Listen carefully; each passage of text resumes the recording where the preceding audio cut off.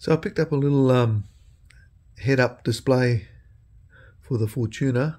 I got this off eBay. It was like just a cheapie, uh, around 42 bucks delivered to the door. So not expecting too much, but we'll um, see how it goes. Let's see what's in the box.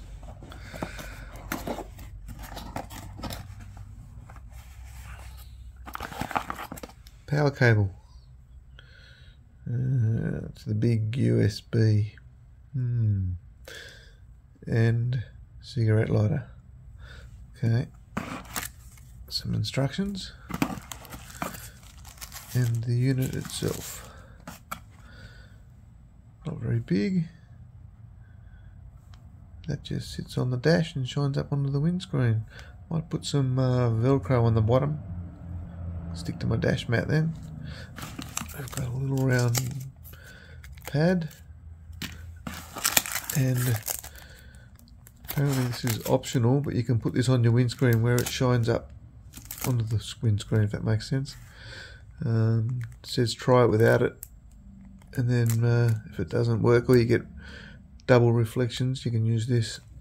So that's what we've got. We'll go and try and install it and see how it goes. Okay, a little demo of the heads up head up display.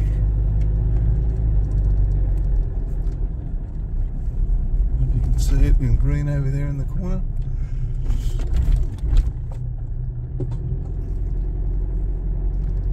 It um, doesn't work uh, in car parks underground. You need to have a uh, GPS signal to make it work.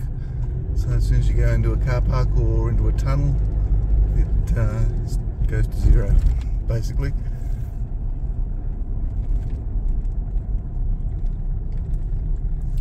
It's pretty accurate. It has uh, an adjustment at 100 kilometers an hour. You can dial it up to 102 or 3 or 4. You can adjust it to be a percentage out. And that works all the way through the uh, speed range. What else? It's got auto dimming, which I must turn on because it's a bit bright here when it's not so not so sunny.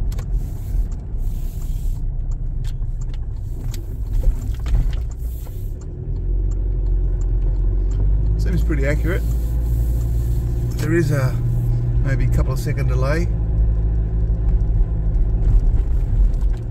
I guess while it gets the GPS signal and uh, does all the calculations, it takes a couple of seconds to do that. So it's got to allow a couple of seconds for it to catch up to you if you're accelerating or decelerating.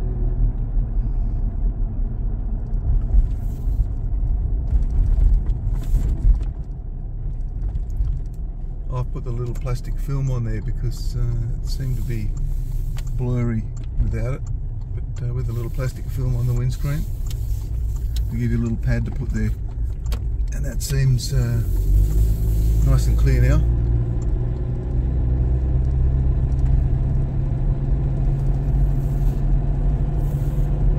That's about it. I'm thinking not too bad for um, 40 odd dollars from eBay. There are better ones out there, so you like this kind of thing. It's got um, warnings too. If you go over 60, an orange light comes on, and there you go. 61, a little light came on.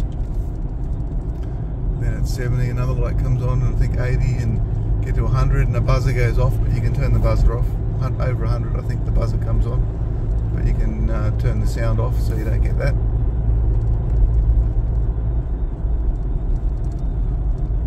All up, I think I'm liking it at this stage.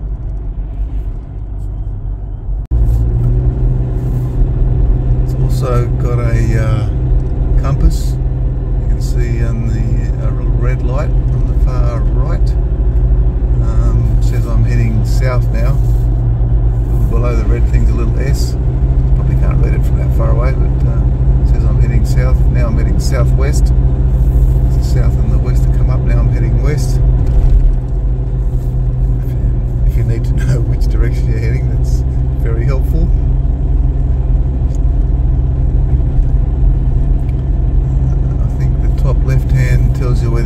GPS signal or not. Um, it's fairly quick for when they started. Yeah, maybe 30 seconds. Pick up GPS signal and start displaying.